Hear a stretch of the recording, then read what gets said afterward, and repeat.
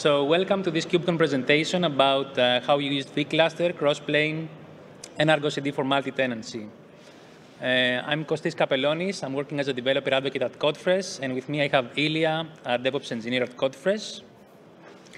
And the problem we are going to talk about today is how we provided hosted Argo CD instances to the masses. Uh, we both work for Codefresh. It's a software delivery platform. It has a CI, CD, and GitOps component. If you want to know more about Codefresh, we have a booth outside. But today we're going to talk about a very specific problem that we wanted to solve.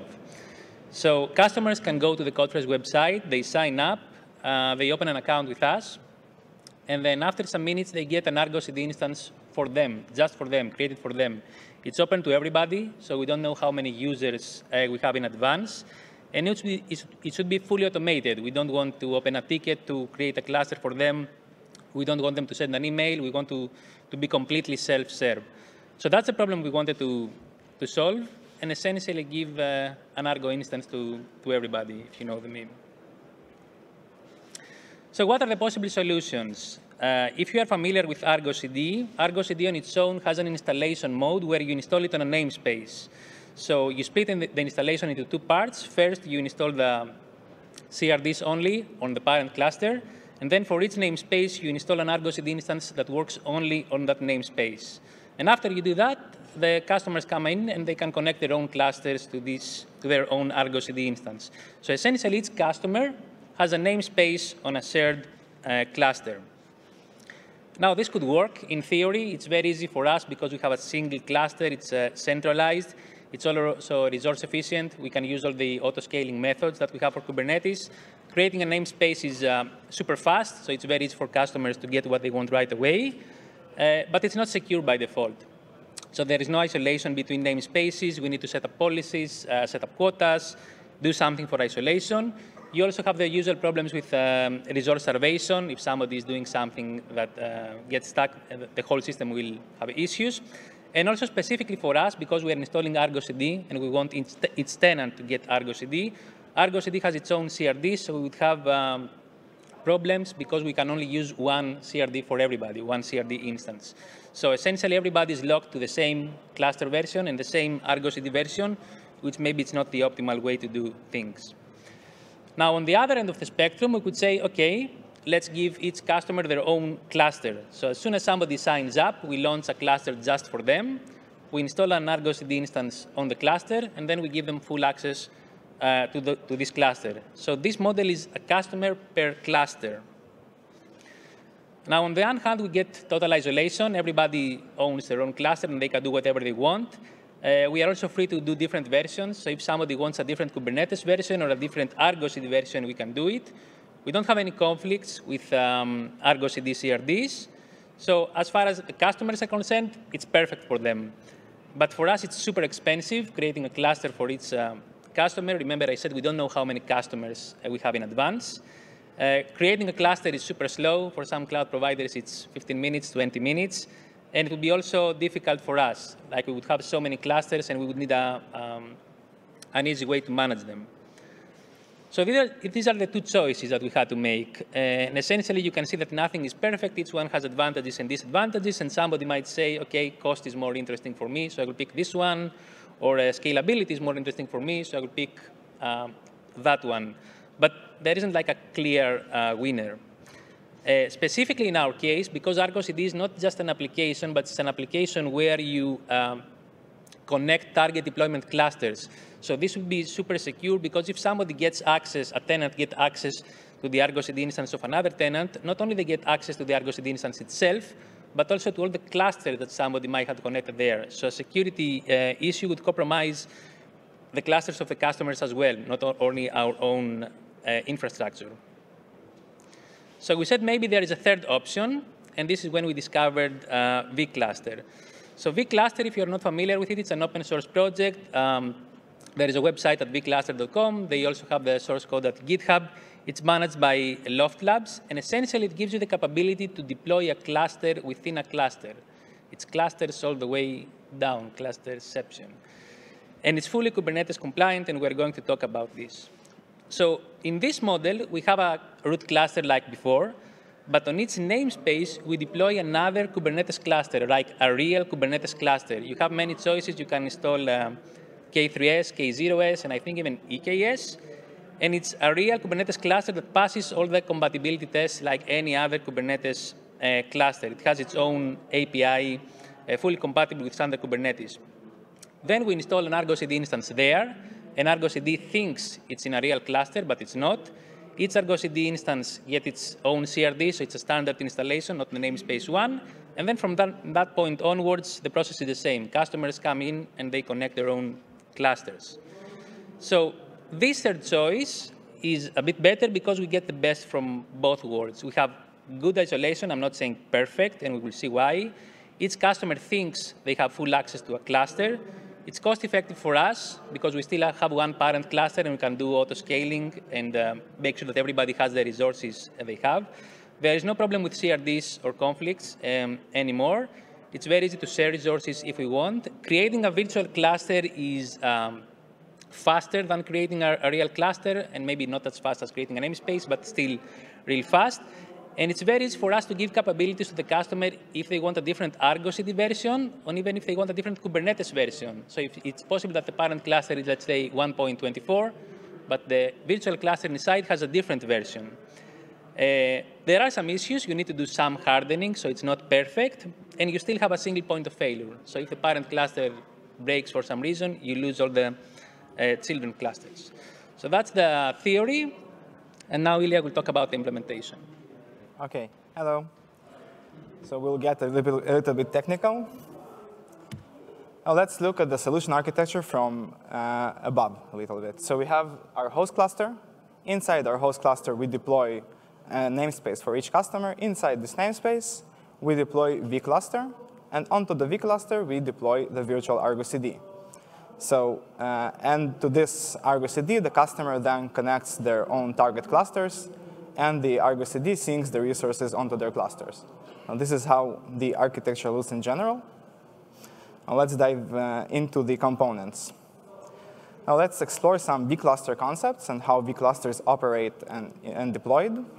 So vClusters are deployed onto the host cluster like any other Kubernetes manifest, like any other workload. You can use, you can use plain manifest, you can use the, their official Helm chart, and vClusters are entirely namespace scoped, so you wouldn't require an cluster admin privileges to deploy uh, the vCluster. And the way they operate is that high-level resources are entirely virtual. They exist only the in the realm of the vCluster in its API. And the low-level resources that are absolutely necessary to, to execute workloads like pods, like secrets, config maps you map into the pods, they exist on the host cluster, and they're synced by the syncer, which we'll see in the next slide, onto the host cluster. So this is how vClusters operate. They have, uh, you have the vCluster pod. Uh, the, the vCluster pod has two containers. One is the vCluster itself, which represents the Kubernetes API. And there is the syncer container, which is responsible for syncing API objects from the vCluster onto the host cluster. And uh, basically, it syncs, by default, it will sync only the absolutely necessary resources, like secrets, config maps, pods, etc., what I said before. But you can also configure it to sync any other resource you might want. For example, uh, ingresses, if you want uh, vCluster workloads to be accessed from outside.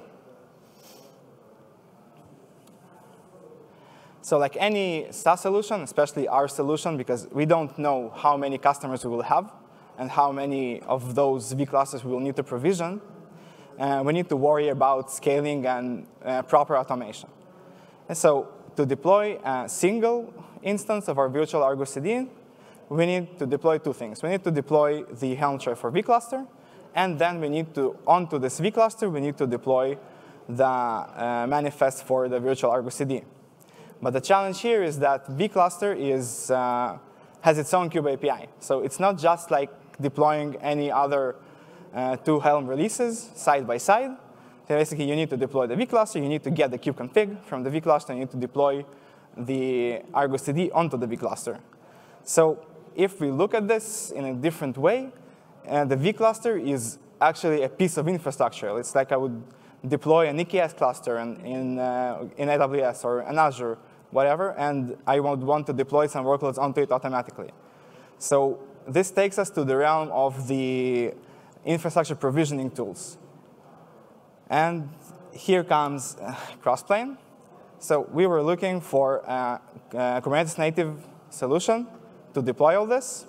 And what Crossplane does is it, it utilizes Kubernetes to serve as a general purpose control loop, which means you can use Kubernetes to manage any type of resource. As long as there is an API you can access and create this resource by some controller, you can manage it with Crossplane. So you can manage any non-Kubernetes resource, even pizza orders, as we will see in uh, one of the next slides. So you get uh, one control plane to rule them all. So how does uh, Crossplane provision infrastructure? Crossplane uses, uh, it's very simplified way of, this, of describing Crossplane, but Crossplane uses uh, providers and resources. Resources are represented using Kubernetes CRDs and are, and are describing the resources that we want to create. For example, if we want to create an AWS VPC, we will have a spec that, for example, would have uh, CIDR blocks. And providers are the actual Kubernetes controllers that are responsible for creating those resources on the third-party APIs. Uh, so for AWS, we would use AWS provider. Provider configs are, uh, those are the configurations that define how the provider should create the resources. For example, they would have authentication. They would reference a secret that would authenticate me against AWS. So here is a simple example of using Crossplane to provision infrastructure. On the left-hand side, we have the provider, which is the, defines that we are using AWS provider. The provider config defines the credentials we would use to access a AWS API. And the VPC is the actual resource that we are going to create. And you can see it under its spec. It has a region, it has CIDR block, it has tags, et cetera, et cetera. And one of the most powerful features of Crossplane is the possibility to create compositions and composite resources.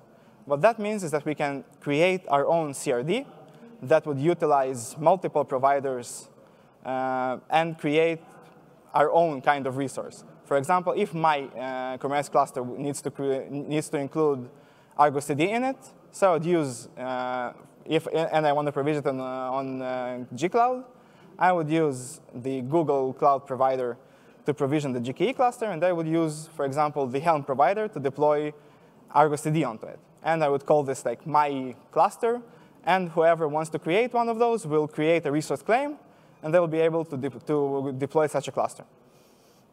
And there is such an example in the Crossplane repo. You can access it later. And the presentation is, of course, uh, uploaded to the CNCF website.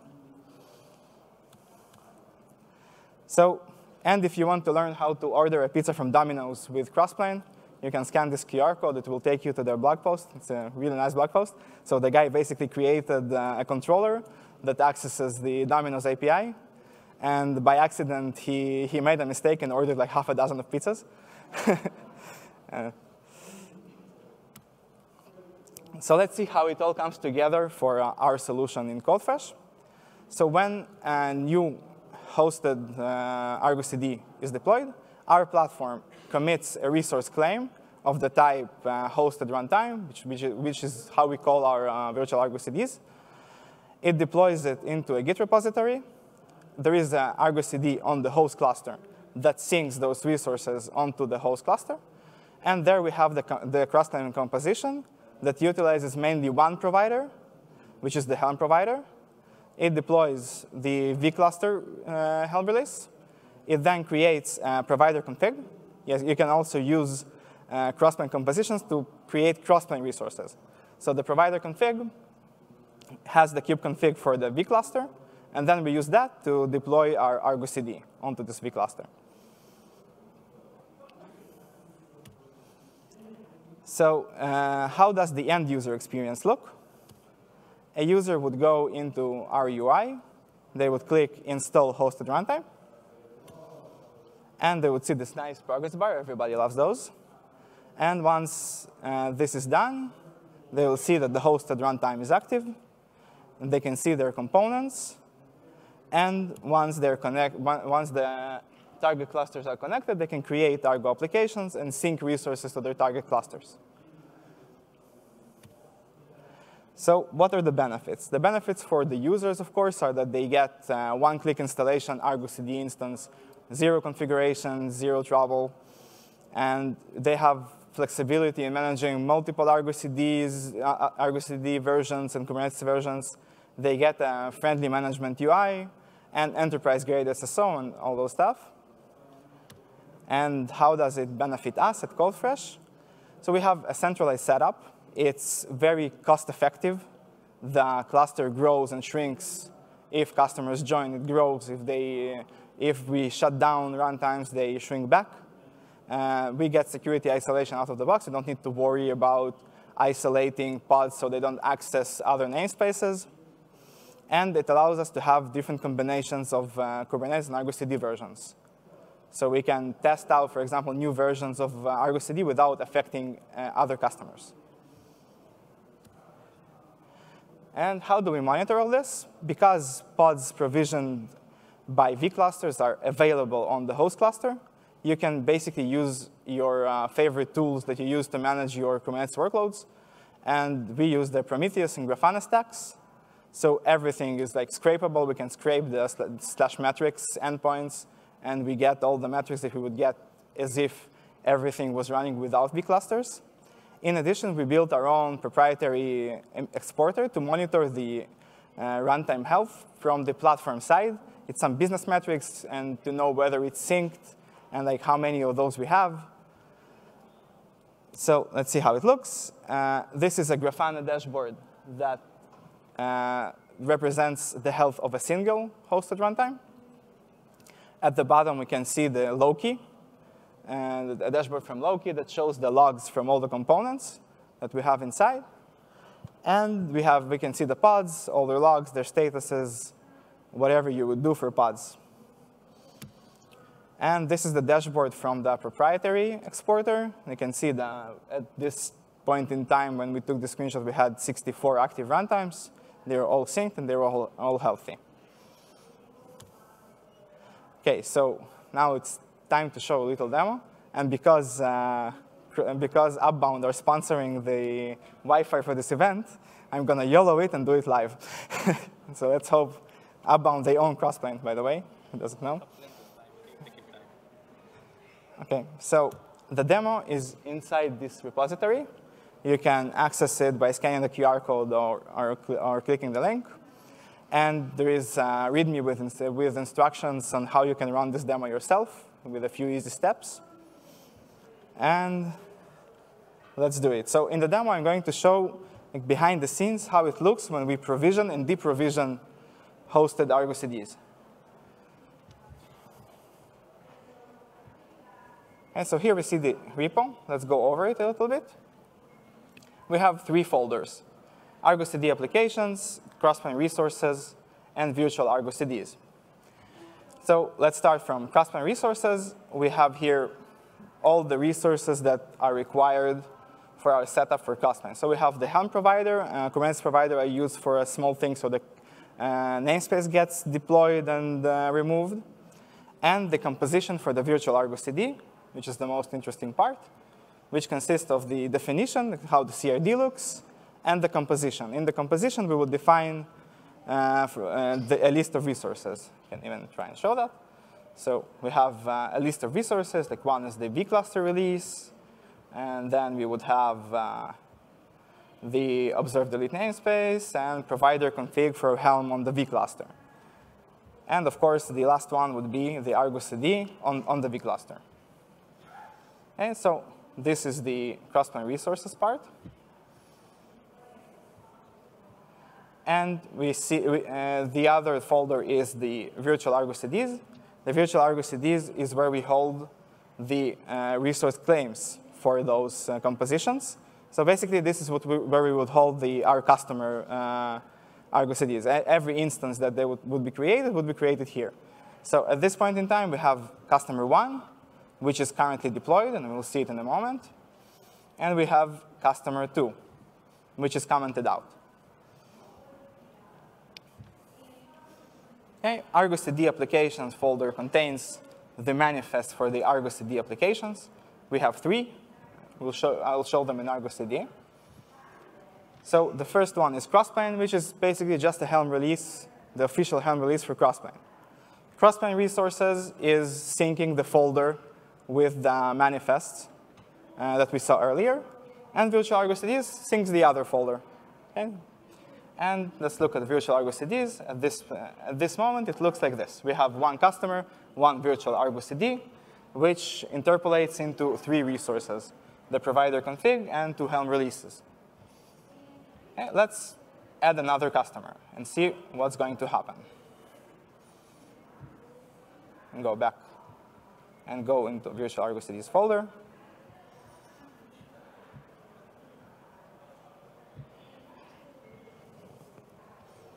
Uncomment this. Commit. Go to Argo CD. Refresh it.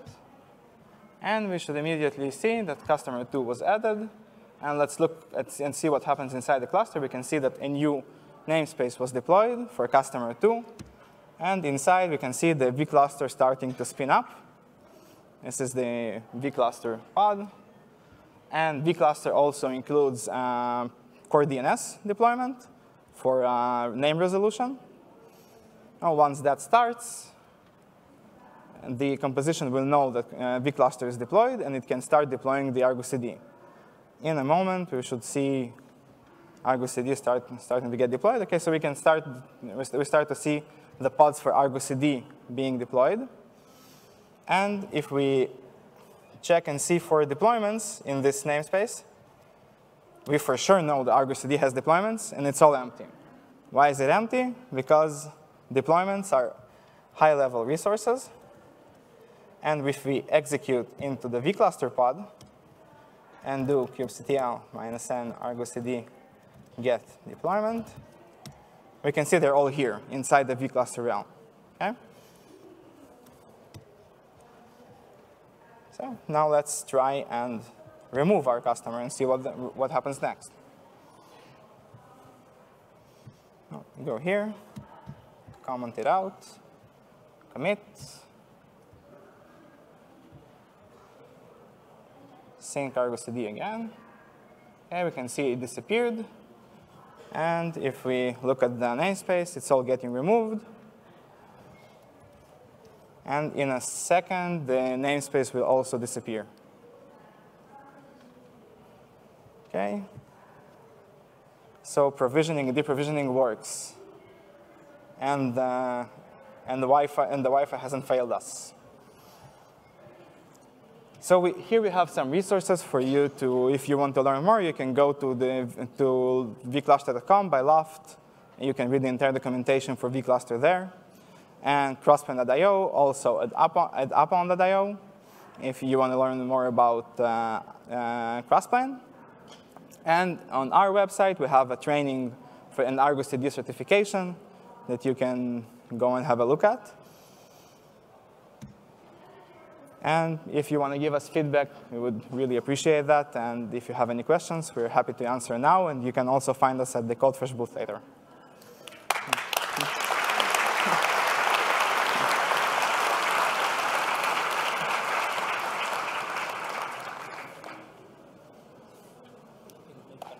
Yes.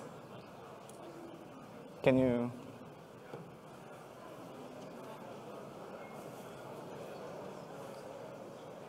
Testing. Hi. Um, so since everything is deployed, like vCluster is deployed using Helm charts, and you deploy that using Crossplane, how do you make sure you don't someone doesn't accidentally delete all the vClusters and all the Argo CDs in it? How, what do you have any protections around that or testing? Uh, so we use the GitOps model, of course, because our uh, you can the only way you can add or remove those is if you log in into I repeat the question because they encourage, uh, on the recording they might not hear it. So the question was, is how do we make sure that no one accidentally deletes uh, the entire thing? Because we have like one composition that controls everything, and if you remove like all of, all of those compositions, the cluster will become empty, and we'll lose all of our vClusters and all of our hosted Argo CDs. So in the GitOps model, and basically which uh, the the mo it's modeled with Git permissions. So the only code owners to the repository is the bot user that uses that, that's used by the platform and ourselves. And no one has, not, not even our devs have uh, cluster admins on, on this cluster, on, this, on the hosted runtimes cluster. They have no re reason being there. Okay? so this is how we make sure this. Yes? Can you pass the mic? Yeah. One question for, um, for the vCluster storage. Uh, where does the resources uh, for high-level deployments and anything like that are currently stored. You, you, you show that you have access uh, inside the vCluster pod, but what happens if I restart the pod? Okay, so vClusters, uh, the, the, the, API, actually vClusters are stateful sets. They have uh, PVCs, and if you restart the pod, the Kubernetes API it uh, reads back from the PVC and continues from the, from the same spot. So you don't lose, it's not, it's not stateless uh, in that sense. And they also have the possibility to use an external Postgres database, and you can then scale it out.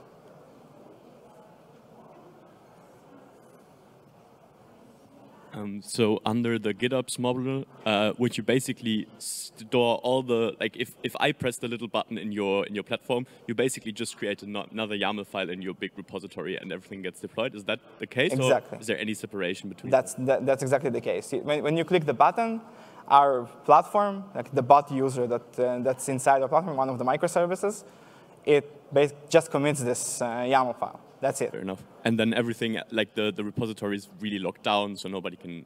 And exactly. Okay, yeah. cool. Thank you.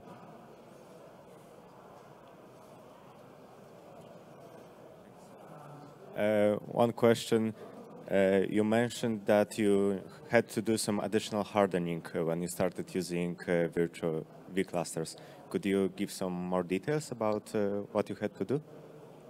So just to make sure, uh, the, the, question was uh, what additional hardening we use uh, that so that no one can access, like one customer can access another customer. Mm-hmm. so the hardening, basically, what, what we did is just to make sure that we cannot do inter namespaces uh, net network calls. Okay, so just yeah, network policies, mm -hmm. and and there are quotas for resource isolation. And that's basically it. Because uh, vCluster has its own API, there is no chance you would able, be able to read a secret, for example, to, for a, a cluster that's a target cluster. Thank you.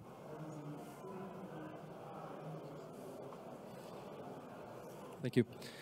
Uh, just a question, how did you solve the single point of failure caused by the root cluster? I didn't hear. Uh, Okay. What happens if the root cluster have so, a problem? Uh, yeah, so the question was, uh, how did we solve the single point of failure, like which is the host cluster in this case? So everything is uh, fully GitOps.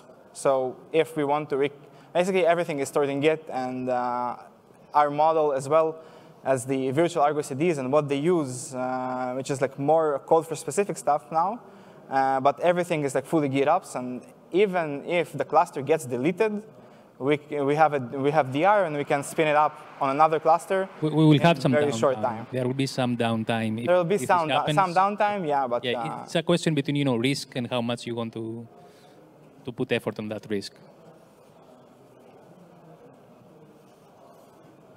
Do you really just have one vCluster then for each customer, or do you have vCluster replications so that in terms of a failure on one vCluster, you can switch to another vCluster instance or replica?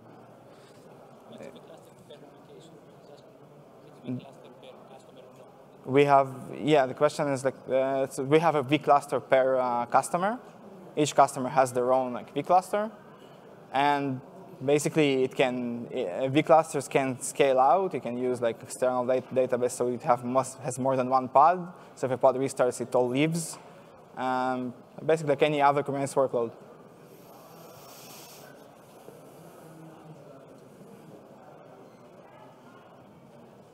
Uh, how did you solve the problem with the noisy neighbors that you that you referenced in the single cluster uh, approach?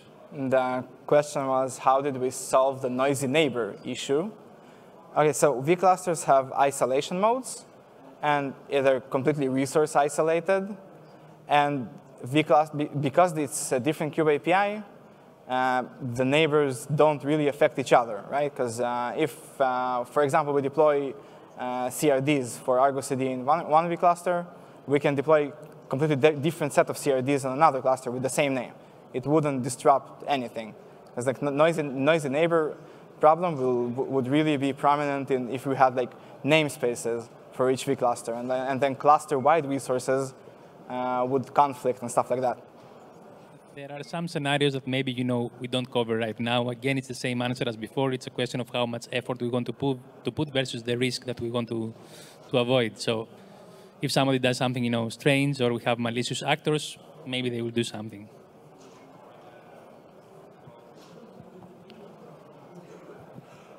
But do you have any problems with the the hardware part? So in vCluster, you're still sharing the the node, right? So how do you maintain that isolation between the the, the vClusters? So the question is like how how do you uh, manage to, if have if, if one customer runs just on one node and you lose the node and the, the all workloads are lost. So we use uh, pod topology uh, spread constraints on the pods. Those are also synced to the host cluster and you can spread out the pods on uh, different nodes. Okay, so we, we spread those so one customer doesn't get affected by a single node failure, and so everything remains up. You again? Come on, let's, let's give some.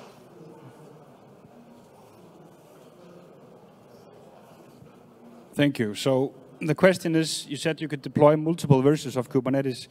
Uh, is there a compatibility issue when you deploy something that is deprecated between. So for example, PSPs uh, in the in the yeah, host cluster, and then you have the pod security admission controller and the, the downstream cluster. Is there some compatibility issue here? And yeah, the question was if you have deprecation issues, like on the host cluster, if you deploy something on the vCluster that's deprecated on the host, right? I, I get it correctly. Uh, so you might get those if you sync some resource, but usually like what you sync is pretty basic Kubernetes resources, like pods and, uh, uh, and secrets and continuous, which are like mature features forever. But in theory, yes, the deprecations can affect you if you, if for example, you use Ingress v1 beta and the underlying, uh, like the host cluster is uh, uh, Kubernetes 125, it doesn't support those anymore, you, you could get that, of course. So, so vCluster is a brand new project on its own, and maybe you know this question is better answered by the vCluster people. But essentially, what's their the recommendation is you might have some issues, and they recommend maybe going one version forward or backward. So if parent is X, you should have a child that is X plus one, or maybe X minus one, but not X plus three or X minus plus three. That's the, the recommendation. I think, are we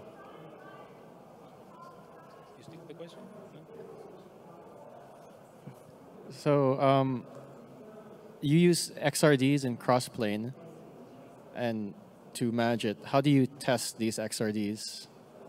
So you, uh, the question is, how do you test uh, composite uh, compositions in Codefresh called XRDs? Um, so basically, you can create another version of the composition, and we do it a lot because we have, uh, for ourselves, we have uh, a hosted virtual Argo CD deploy that we use internally, and we deploy a new version of the composition, and we switch our uh, claim to use a new version of the composition. We test it out on ourselves. We run, in, we run it in, in, our production for a couple of days, and then we roll it out to users. You can, yeah, we, we use, uh, we have end-to-end -end tests for uh, and all of the components. We use Cypress, like anything, like any other end-to-end -end testing you would do. Any more questions?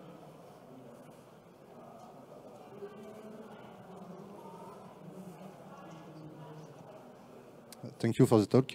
Um, how do you manage the life cycle of the um, virtual uh, Argo CD into the, the vCluster?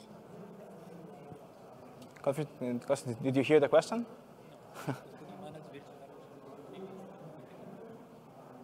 uh, sorry.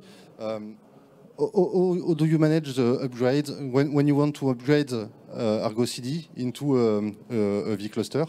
Uh, how do uh, which? Um, the question is how do we uh, how do we manage upgrades of Argo CD? Yes, am, yes. am I correct? okay, so by, basically by creating a new composition version with the new Argo CD. In the, in the resources, like we just bump the Argo CD version, we again use test composition, we apply it on ourselves, and we roll it out to customers uh, if we need to. Uh, basically, there's uh, really easy upgrades. Any more questions?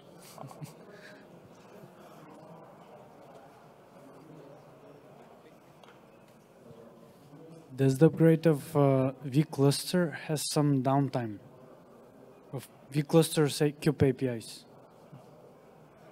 Again, louder, please. Does um, the upgrading of vCluster's kube API have some downtime to the kube API? So, uh, it, does the kube API for the vCluster have any downtime? Right? When we upgrade it, but we don't upgrade it. We do upgrade, we do upgrade if you want to bump uh, but it's rolling upgrades. So you, uh, you, you, update like one pod and then another. Uh, you, you, might get short downtimes. Kubernetes downtime. all the way. Kubernetes all the way. Think that way. It's Kubernetes inside Kubernetes. Standard Kubernetes tools. You, you might get short downtimes if the vCluster is down for like 30 seconds. Because the pods all run on the host cluster, you wouldn't feel it. And the problem arises with some CRDs and stuff like that. Uh, but for short periods of time, it really doesn't affect uh, customers that don't feel it.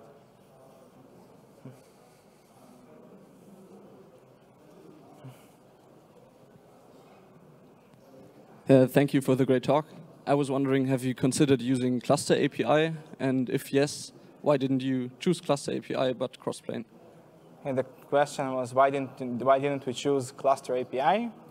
As far as I know, Cluster API is good for deploying uh, uh, Kubernetes clusters on cloud providers.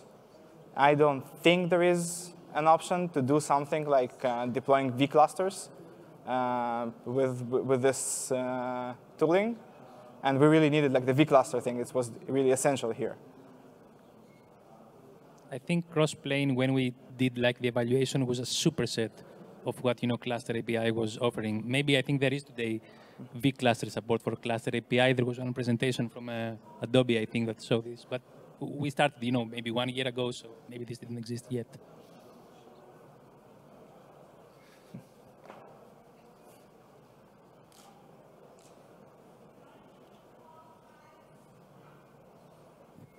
Thank you for the talk. Um, we have sometimes hard time to, uh, troubleshooting and uh, debugging some uh, problems with Crossplane compositions, especially when they are not ready or healthy.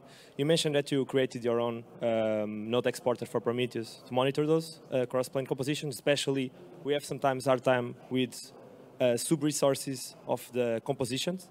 Uh, how do you manage and what kind of monitoring did you do to debug those?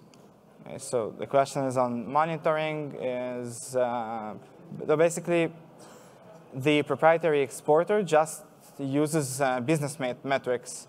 It, uh, it reads metrics from our platform. It doesn't like access the vClusters even.